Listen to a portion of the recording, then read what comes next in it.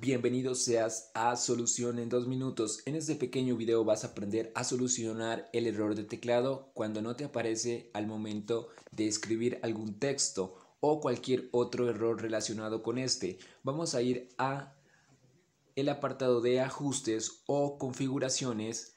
Acá vamos a buscar el apartado de aplicaciones o eh, un apartado que te permita acceder a ellas, en este caso aplicaciones, y vamos a ir nuevamente a aplicaciones.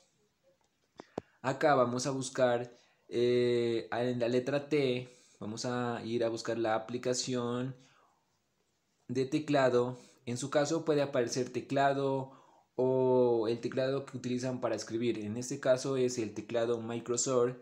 Le doy clic en él y acá voy a ir al apartado de almacenamiento y voy a vaciar memoria caché. Le doy clic en ella y se ha vaciado correctamente. Ahora voy a vaciar los datos y le doy en borrar.